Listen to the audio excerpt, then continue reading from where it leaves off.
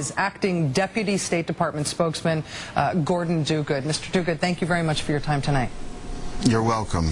Uh, can you update us on what the U.S. government knows about the scale of the devastation in Haiti uh, and the expected number of casualties?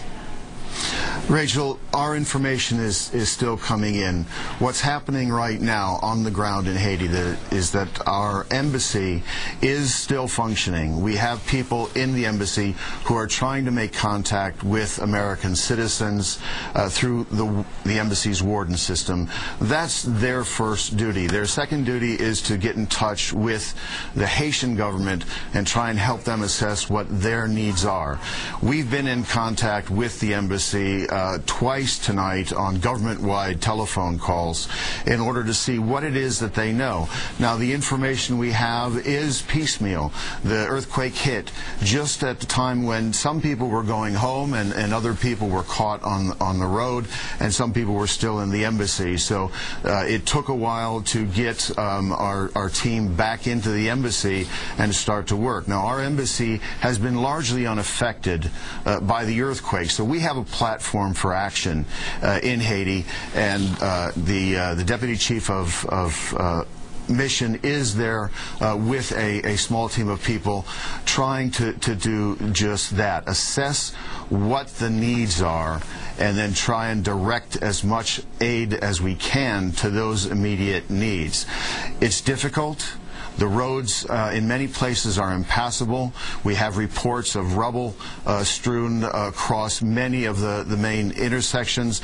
There are, of course, uh, injured people, and there are uh, reports of, of bodies uh, in the street that also add to uh, the problems of trying to get around and make contact with both American citizens and Haitian government officials. Telephone lines are down cell phone service is, is spotty.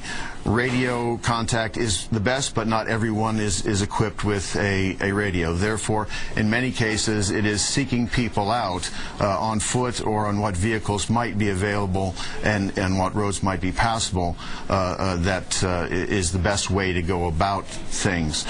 The uh, devastation I, um, I know is, uh, is severe and that uh, the um, the conditions that uh, remain are one in which the security services will be trying to establish some form of order, some form of emergency contacts.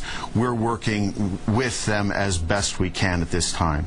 We spoke with the Haitian ambassador to the United States earlier this hour. He expressed a great need for assistance in his country, obviously. He said that he had not really been able to uh, make requests of that sort through official channels, um, in part because of his difficulty in contacting uh, his own government at home in Port-au-Prince. Can you tell us what the U.S is able to provide, or at least what the U.S. has been able to promise, and when we should expect to see U.S. assistance uh, arrive? Well, the U.S. assistance is being organized right now as we speak.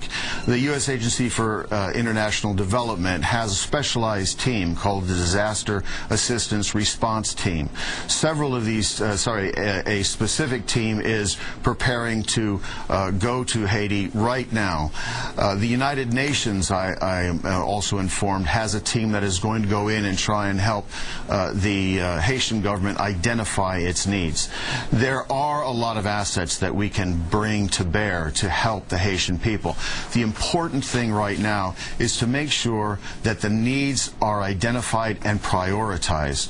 The first priority, as one of your previous guests has said, is search and rescue. We have two search and rescue teams standing on alert right now that are going to go in as soon as we can ascertain that the airport is passable. We have the Fairfax County, Virginia search and rescue team and one from Los Angeles both on alert, both ready to go. We do need to identify that the that the airport is uh, is able to take the number of flights and the and the sort of the size of the vehicles that will be going in. But as soon as we can do that, I'm sure that that those teams will be on the move. So first point prioritize, work with the government to identify what's needed. Lots of aid is going to be coming in, but you don't want the wrong aid going in at the wrong time. If everyone needs shelter, we want shelter. We want tents and blankets going in. If people need water purification systems and medicine, that's what we want to go in. There will be precious space that is taken up uh, if we put on things that aren't needed right now. As I said, though, the first priority is search and rescue and identifying where American citizens are. That is for the U.S. government. I'm sure other nations are are doing uh, their part for their citizens as well. In the morning at daylight, we will have a better idea of where things stand, how we can move about, and what uh, assets we can bring to bear. The Pentagon is working through Southern Command to be able to uh, bring in what military assets they can. They're looking now at, at those that are closest, particularly in Puerto Rico. Also, the State Department is working with its embassies in the region to try and prepare teams to go in as soon as they are able. The embassy in Santo Domingo in, in uh, neighboring Dominican Republic has a team that's ready to go as soon as we know the roads are passable. Our embassy in Costa Rica, which has a regional USAID team, is ready to go in tomorrow um, with uh, much needed communications equipment. So there are a number of things we can do.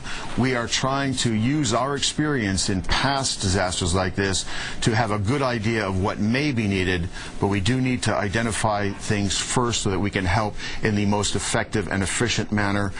The search and rescue teams, however, need to go in first. That's saving uh, human life is the crucial need right now.